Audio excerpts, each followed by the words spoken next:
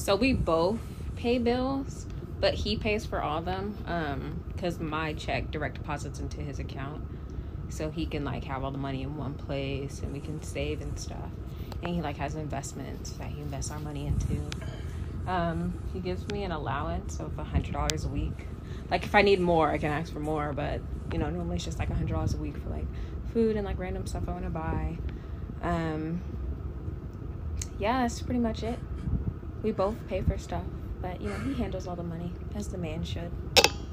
Oh boy, there's a lot happening in this clip. Uh, for those who couldn't see, somebody DM'd this to me, asked me my thoughts, uh, but she's telling how they pay bills. Basically, she goes to work, they both go to work, uh, they both pay bills, but she doesn't really see the money. It goes through him, then to her at $100 a week. Uh, and if she wants more money, then she can go and ask him for permission to get more of the money that she's already earned. So if that don't make sense to you, I promise you, you are not alone. Like my first thoughts was a lot of questions, like how this work? What do they call that? Nonetheless, they both grown. I'm not here to tell them how to live their life. Um, but my first thought was like, this don't sound much like a partnership. Even whenever you talk about leadership, even in a traditional aspect, a biblical aspect, it's still as a part of a partnership. Like the head needs the neck, like both need each other. But just looking at his body language, I don't know if it's just me that caught it. I was like, his body language, his facial expressions is saying that he understands this is a finesse. He's hitting a lick because from what I understand, they're not even married.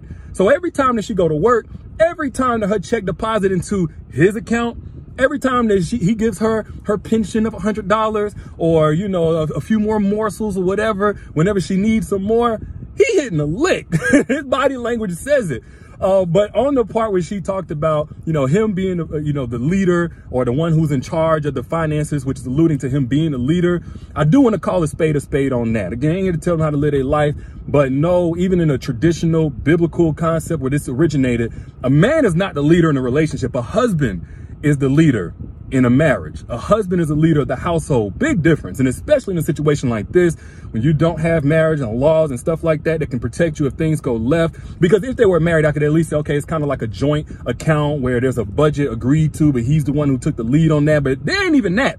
They ain't even that. And then my other thought was if he's such a great leader, no disrespect, but why is it that he's not doing as much provision as he is allocation of where the money goes? Like if he's a great financial steward, he makes the investments and stuff like that. Why does he need the woman's help at all in order to put money in the bank account? This would make perfect sense also if it was just strictly him that was earning all the money. But apparently the investments ain't panned out yet or whatever, man. Um, again, these are grown up, so can't nobody just blame him. I'm not just blaming. I'm really not even trying to shame him, nothing like that. I'm just having fun with the subject.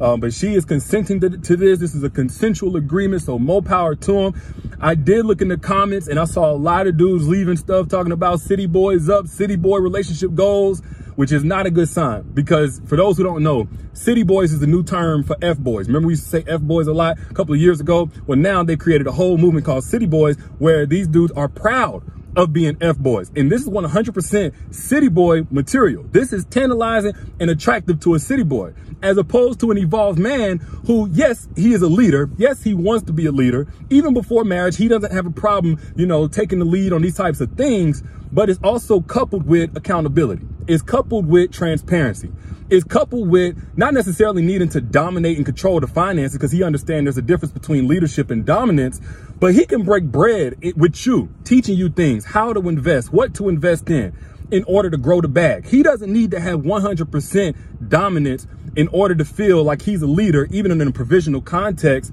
um, whether or not he's bringing in all the money. But he doesn't need that necessarily. That's a matter of ego and insecurity. Now, we talked about that because that's its own subject by itself. We talked about that in my free masterclass, The Secrets to Making an Evolved Man Crave You. If you ain't got access to that yet, it's free right now down at the link in the caption. Get access now before that ends. But moral of the story is this. Again, I wish this couple all the best. I had fun with this subject, uh, but in all seriousness, I don't know that he's a city boy. I'm not saying he's a city boy. There's clearly a lot of trust. I ain't know that much trust in the world, but there's a lot of trust between them. So apparently they're doing something right. But for everybody else in any type of situation like this, uh, leadership that's not coupled with accountability, transparency, and definitely leadership that's not coupled with a commitment.